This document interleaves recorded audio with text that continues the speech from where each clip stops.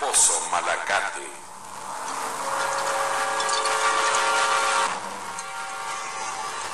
Hace muchos años en Choluteca sucedió un caso que fue protagonizado por una joven llamada Elena. Vivía ella con sus padres y la naturaleza la había proporcionado no solo de belleza física, sino que de, de un encanto personal especial. Era amable con todo el mundo y en extremo servicial. Eh, le digo a Elenita, eh, no tiene un bocadito para mí.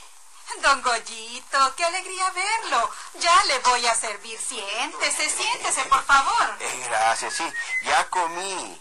Únicamente quería saber si, si seguía siendo igual. Mm, yo no voy a cambiar con usted ni con nadie, don Goyito.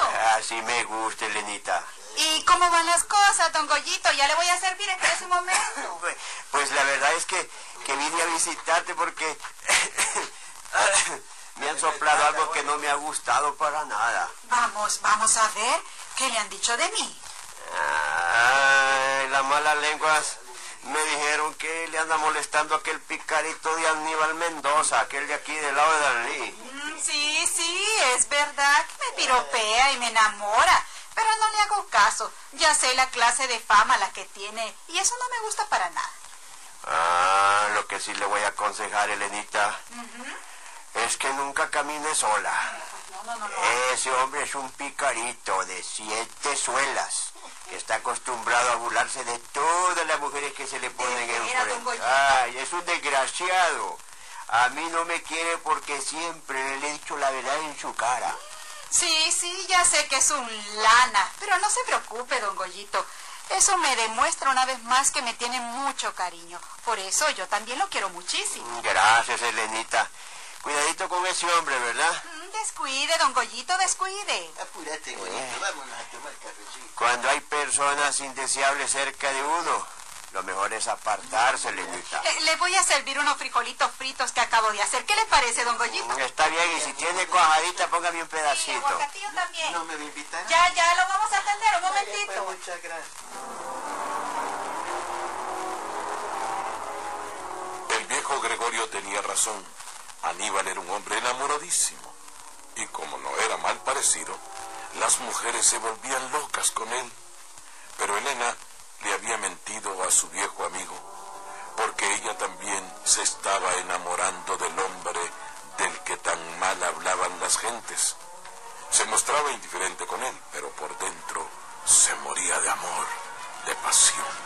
Ay, yo sé que hay mucha gente que me aconseja que no le haga caso, pero es tan lindo conmigo. Tiene una sonrisa y esos ojos. Ay, Dios mío, creo que, que hoy sí estoy enamorada. Pe- Pero, no voy a dar mi brazo a torcer. Sí, eso sí.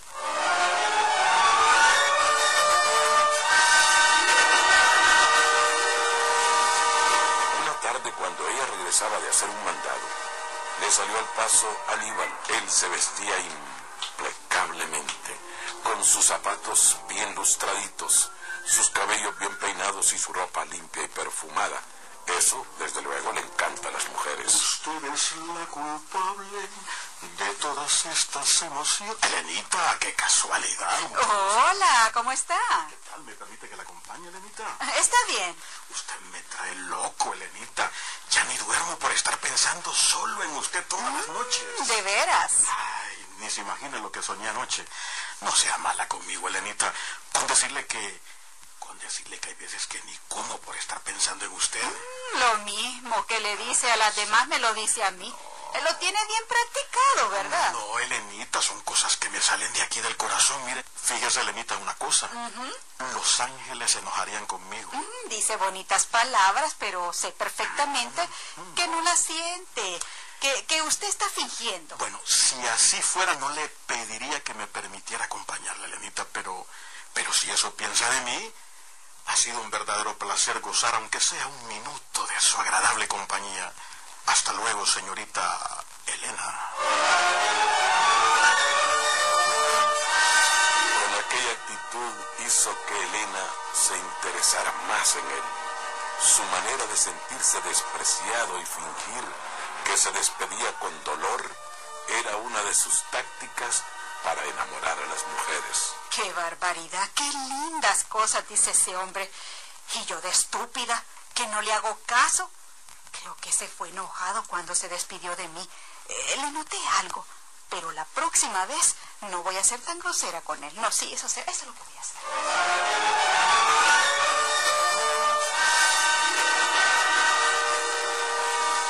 Ajá, Elenita, ¿cómo le baila? Don Goyito, pensando en usted estaba. Mm, la mire platicando con el picarito ese de Aníbal. Ah, así es. Es que se vino acompañándome, pero se fue luego porque le dije unas cosas que no le gustaron. Mm, bien hecho. Pero me estaban contando que a la hija de Carmenza, aquella doña que hace pan, ¿Sí? como que la preñó y la muchacha tuvo que irse porque le daba vergüenza. Por eso es que ya días no la vemos por estos lados. Usted dice Lucila. La mismita, la misma. Es verdad, antes Lucila pasaba por aquí todos los días y desde hace como dos semanas que no pasa. Es por eso, Elenita. No es que el muy zamarro la panzoneó. Pero, pero ¿están seguros que él fue? Claro que sí, mija. La mamá le fue a reclamar y él le dijo que ella había tenido la culpa porque lo buscaba. Así que no le quedó otro remedio que preñarla, así le dijo. Caramba, qué hombre. Por eso le digo a usted, Lenita, tenga mucho cuidado con ese hombre. Gracias, don Goyito. Yo presiento que a usted le gusta ese fulanito. Vea, no le salga con un domingo 7. Ay, es verdad que me gusta, pero no soy como las otras. Yo me sé cuidar, Goyito. me sé cuidar. pues ojalá que así sea. Hmm. Ay, no sé qué me sucede con ese hombre que no puedo apartarlo de mi cabeza. Es una cosa horrible, una desesperación que tengo por verlo otra vez. No sé, no sé lo que me está sucediendo.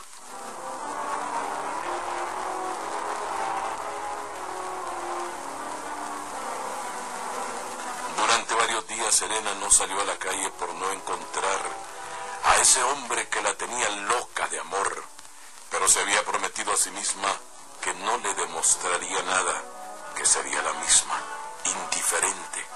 Así que aquella tarde salió de compras y lo primero que sucedió es que lo encontró en la calle. Eh, caramba, Elenita. Hoy la veo más bonita que nunca. Creo que, que hasta las estrellas palidecen con su belleza. Mm, Es lo que usted dice. No me castigue así, Elenita, por favor. Pero, pero si yo no le hago nada. Claro que sí, me duele con esos días que tengo de no verla. Me ha castigado muchísimo. Mi vida es un infierno cuando no puedo verla, Elenita. Mm, Ya va otra vez con sus mentiras. no, no, no, no es mentira, Elenita. Me, me aceptaría que la invite a un refresco. Mm, Bueno, sí, está bien. Qué bien, Elenita, gracias.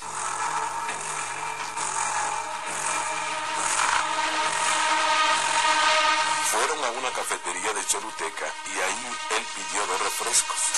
Y en un descuido, el experimentado galán le echó unos polvos al vaso en que Lenita se tomaba su refresco. Lo hizo rápido, de una manera increíble, mientras ella saludaba a unos amigos. Siguieron platicando y luego salieron del lugar. Él la llevó por la calle donde vivía y Eh, eh, no, no sé qué me pasa, Aníbal. Eh, me siento como mareada. No, no será de debilidad, Elenita. Le voy a dar una pastilla, por favor. Se lo voy a agradecer muchísimo. Claro, mire, Elenita, a propósito, aquí vivo yo, mire. Ay, no sé. Espere que abra la puerta, no se me vaya a desmayar aquí en la calle. me- siento muy débil. ¿Cómo ay, ay, como con sueño. Camine por aquí, Elenita. Sí, gracias. Aquí, mire, acuéstese en esta cama, le, le voy a traer agua y, y una pastilla, por favor, Ay, me siento Para que se sueño. Yo la voy a- Creo que me voy a dormir. Estoy tan débil. Creo que, creo que... Así me gusta que descanse. Descanse, amorcito. Mm, vamos a ver. mm, Eh, Ah, Yo, sí. yo, yo, yo- Ya se durmió. Al fin cayó esta palomita en mis manos. ¡Ay, mamá!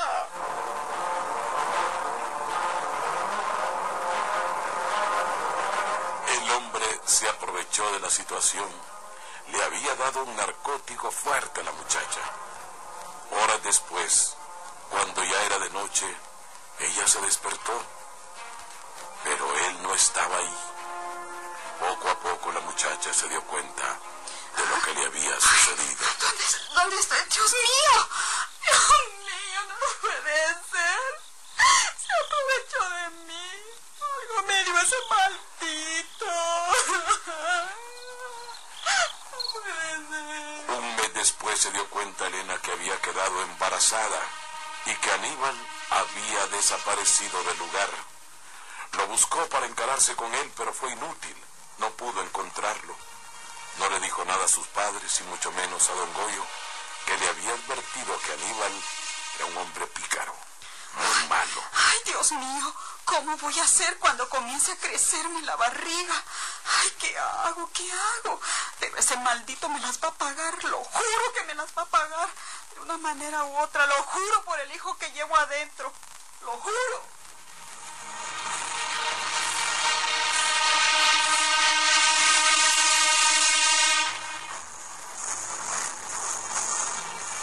Una mañana el viejo Gregorio la encontró en la calle.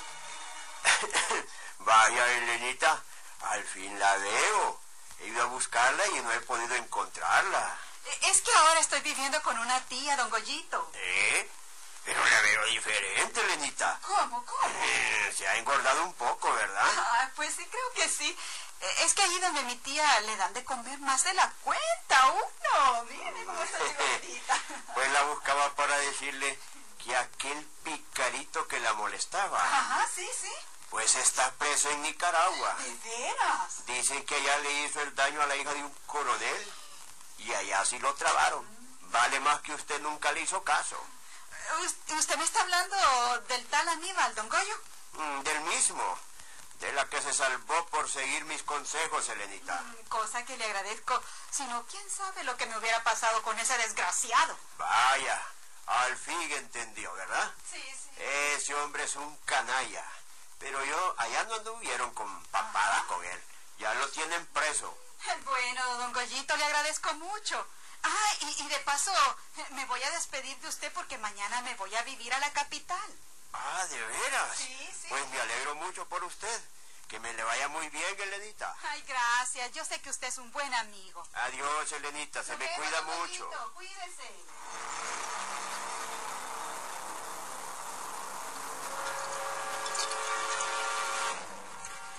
Pero los planes de Lenita eran otros. Prefería estar muerta antes de que sus padres, sus familiares y amigos se dieran cuenta que estaba embarazada. Se metió por un cerco del hambre a una propiedad que estaba abandonada. Ella conocía bien el lugar, porque desde niña jugaba con sus amiguitas en ese sitio. Al fondo de la propiedad había un pozo malacate que era muy profundo. Elena quedó viendo hacia abajo se estremeció de pies a cabeza y sin pensarlo dos veces saltó a las profundidades de aquel pozo.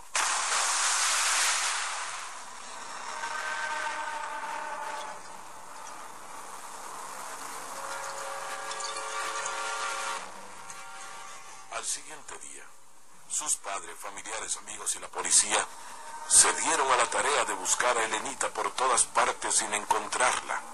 Don Goyo declaró a las autoridades que se había despedido de la muchacha diciéndole ella que iba a vivir a la capital, pero en la capital sus familiares nunca la recibieron. Con el tiempo, todos fueron olvidando la desaparición de la muchacha. La gente comentaba que seguramente se había enamorado a escondidas y que un hombre se la había llevado. Después, todo quedó en el misterio.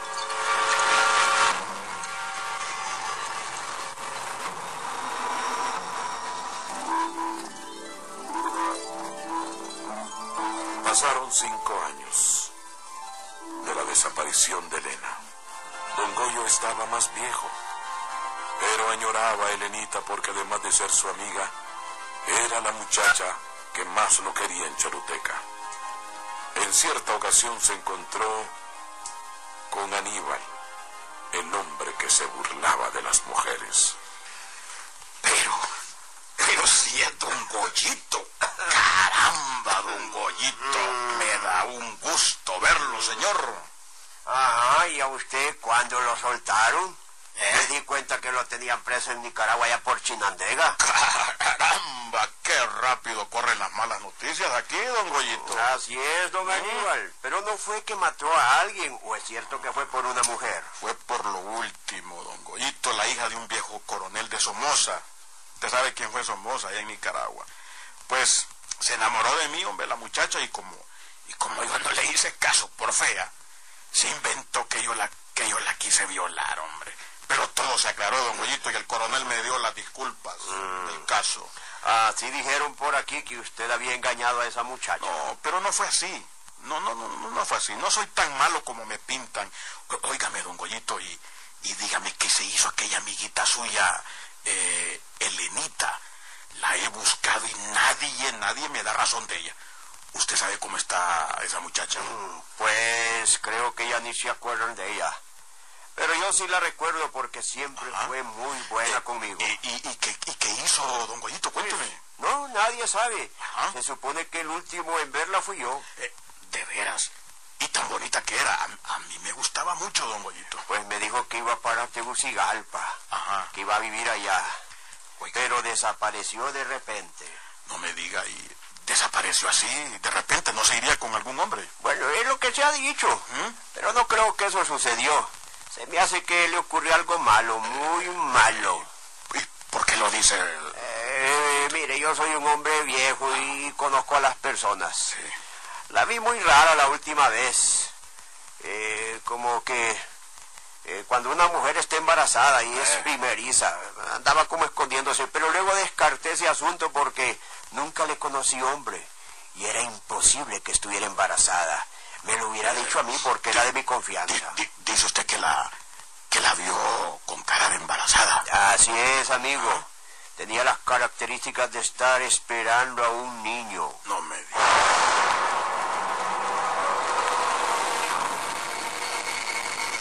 Aníbal sintió un estremecimiento por todo el cuerpo cuando el viejo le reveló que creía que la joven estaba embarazada.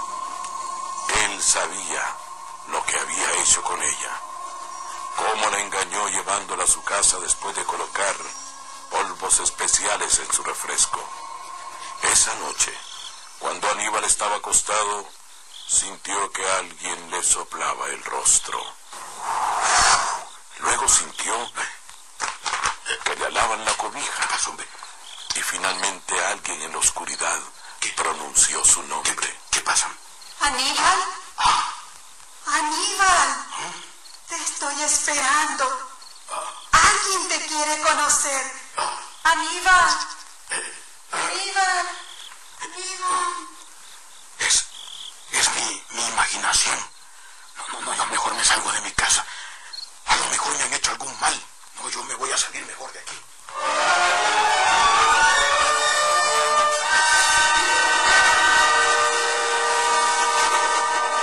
Salió de su casa desesperado.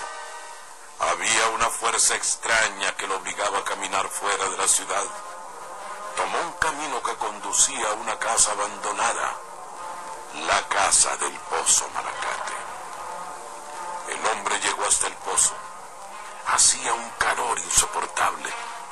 Se asomó al pozo y a él se le paralizó la sangre cuando escuchó Aníbal. Baja. Te estamos esperando, tu hijo y yo. Baja, Aníbal. Baja. Tu hijo te quiere conocer. Aníbal. Baja. Aníbal se resistió. Puso todos sus sentidos alerta para no lanzarse al pozo.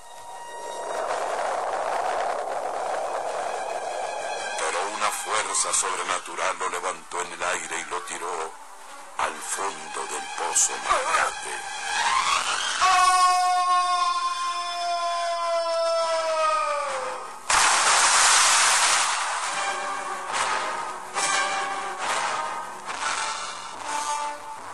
Y cuenta la gente que pasaba por el pozo Malacate que siempre escuchaban el llanto de un niño y luego un grito aterrador.